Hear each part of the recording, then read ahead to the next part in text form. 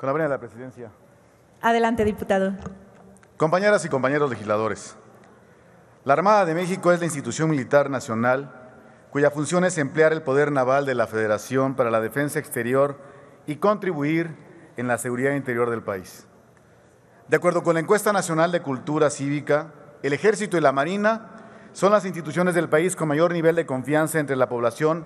al contar con el 63.8% de aprobación. Por su parte,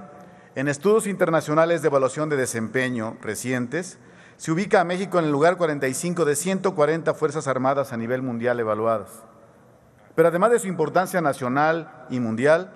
debemos reconocer en los elementos que en el activo tienen y que son mujeres y hombres que dedican su vida a la defensa del país, a su soberanía, a la defensa de sus litorales y fundamentalmente la integridad de las y los mexicanos.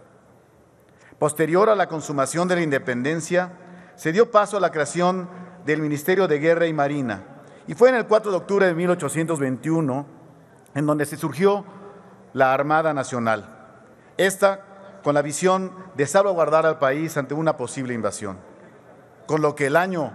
2021 se conmemoró el bicentenario de la Armada de México, razón por la cual el grupo parlamentario del PRI en el Senado, particularmente el senador Erubiel Ávila Villegas e integrantes de la Comisión de Marina, con representación de diversos grupos parlamentarios, presentaron una iniciativa que busca adicionar el artículo 100 ter de la Ley Orgánica del Congreso General de los Estados Unidos Mexicanos, con lo cual se instituye la medalla de oro, la medalla de honor Armada de México, con motivo de la creación de la Marina Nacional. Dicha presea tiene por objeto reconocer anualmente las labores destacadas de sus integrantes, quienes en el transcurso del tiempo con, su aportación comprometida y patriota son motivo de orgullo para todo el país. Sin duda, con esta edición se busca reconocer el esfuerzo que las y los integrantes de nuestra Armada de México realizan día a día para brindar a las y los mexicanos una nación más próspera y segura. Esta presea aspira a reconocer a quienes se hayan distinguido por sus méritos académicos, profesionales, cívicos o sociales. Desde luego, entendiendo que una de las formas de contribuir a la cultura política en nuestro país es a través de la creación de incentivos cívicos que reconozcan el esfuerzo e iniciativa de los individuos ante diversas circunstancias y condiciones. La Medalla de Honor Armada de México busca de manera activa promover los valores democráticos y cívicos, no solo entre el personal activo, sino en la población en general.